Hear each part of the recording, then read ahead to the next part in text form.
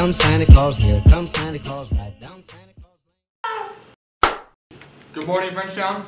This is Frenchtown News with David Toavs and Evan Ellington. Now for some upcoming events. First, January 2nd will be the first girls basketball game and also for the boys. Boys will be at Libby. Moving on, we have wrestling, which will be in Columbia Falls January 5th. Next, Speech and Debate will have a meet this weekend on Friday and Saturday. Previously in Frenchtown, we've actually had uh, two speech debate meets. Uh, we actually took first at our White Vision Divisional, and then we took second at our last meet. And upcoming is Christmas break. At the time of watching this, this is the last day before our two-week Christmas break. So make sure you guys have fun and have a great Christmas. Now for keeping up with the clubs. In the past two weeks, we've had successful toy drives and food drives in both Student Council and Key Club.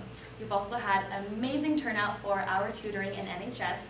And if you're not already dressed up today, we are having an ugly sweater and mask decorating contest. Mrs. Klimple and Mrs. Delaney will be judging best dressed at lunch. Have a happy holiday season, Frenchtown. I'm Caden Hanson, and welcome to this month's holiday edition of Sports Analysis. It's hard to believe that Speech and Debate is already entering its third tournament this weekend. Frenchtown has been putting amazing numbers up all across the board, considering that we've won the first meet and came in second for the next. Due to the pandemic, all of Speech and Debate has been moved online, meaning that the entire state participates in each meet. Frenchtown has an incredible chance at winning a state title this year, so Columbia Falls, with a 15-year straight winning streak, better watch out. Basketball tryouts have ended and it's officially grind time. The first game will occur before holiday break even ends, so watch out, because it's not just Santa Claus coming to town.